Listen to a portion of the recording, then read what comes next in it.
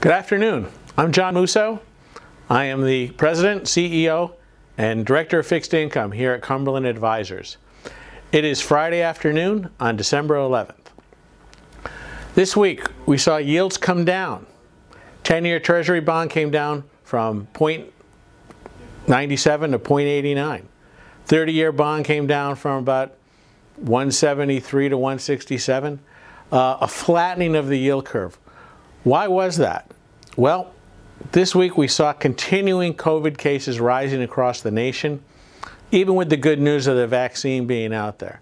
So clearly we're still fighting the battle to try to get this awful, awful pandemic under control.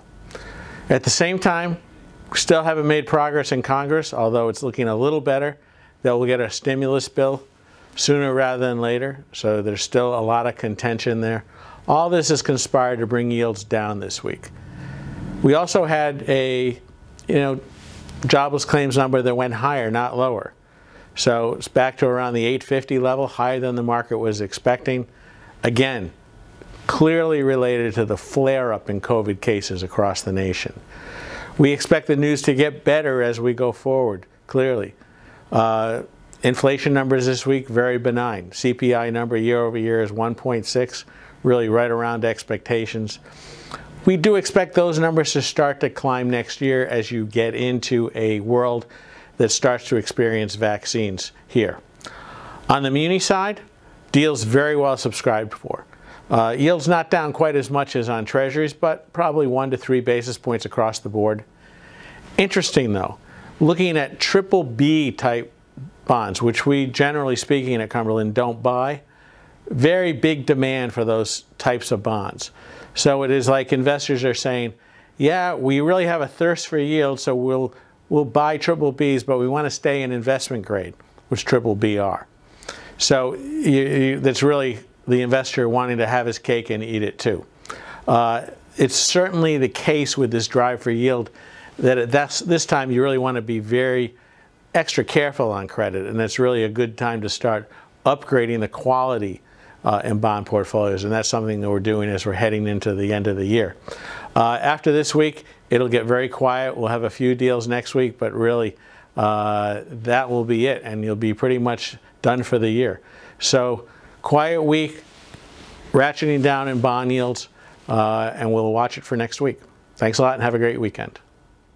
Hi, Matt McAleer, Director of Equity Strategies at Cumberland Advisors, December 11th, just before the close today. Fairly quiet week in the equity markets this week. Dow off about 1%, call it 30,000. S&P off about the same. Uh, small caps continued with that bid.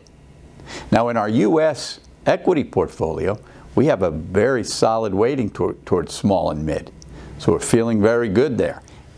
In our tactical portfolio, while we have a weighting in, in equal weight, mid cap, small cap, biotech, and equal weighted technology, we're still a little, we're still overweight large cap. Little uncomfortable there. Just giving a little insight into the management of two different strategies. Often we talk about diversification amongst securities. Diversify a basket of stocks, diversify a basket of bonds. You also want to diversify the strategies you run. Not one strategy is always the ideal strategy to be in. Think about complementing your strategies in your overall allocation. Perfect example, trade we did this week, as a matter of fact, trade we did today in U.S. equity. We let go of the banks. Banks have been on a tear, up 15% for us in the last 30 days. We let go of them. You heard John mention a little pressure on rates this week. 10 year down to 88 bips. Maybe that's the, the, the German, German 10 year going to minus 63. Maybe it's Spain and Portugal on the porch of negative rates. Whatever it may be, that tends to keep a cap on our rates. Little pressure on the banks. After such a move the last 30 days, we'll take those off. We will revisit them at another level. If not, we'll look at something else. That was in our U.S. portfolio. In our tactical portfolio, Tactical Trend, which owns JP Morgan, we didn't do a trade there. JP Morgan fits into that portfolio and creates a, a, little bit of a total return dynamic through its three and a half or three and three quarter percent dividend yield where it was put on in the portfolio, gives us a little bit of income, gives us a little bit of uh, safety net on drawdown, fits nicely into that strategy. So two different strategies within Cumberland. One boots the banks, one keeps a bank.